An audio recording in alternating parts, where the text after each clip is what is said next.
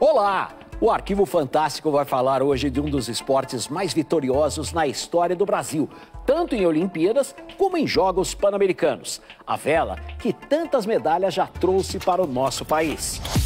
Torben Grael, um dos maiores nomes da vela brasileira, teve um grande momento nos Jogos Pan-Americanos de Caracas em 1983.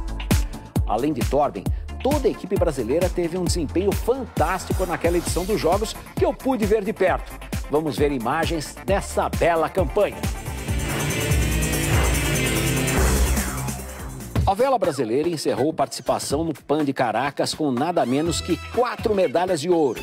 O país venceu nas classes Laser 470, Lightning e Soling, que contava com Torben Grael, então com 23 anos entre os tripulantes.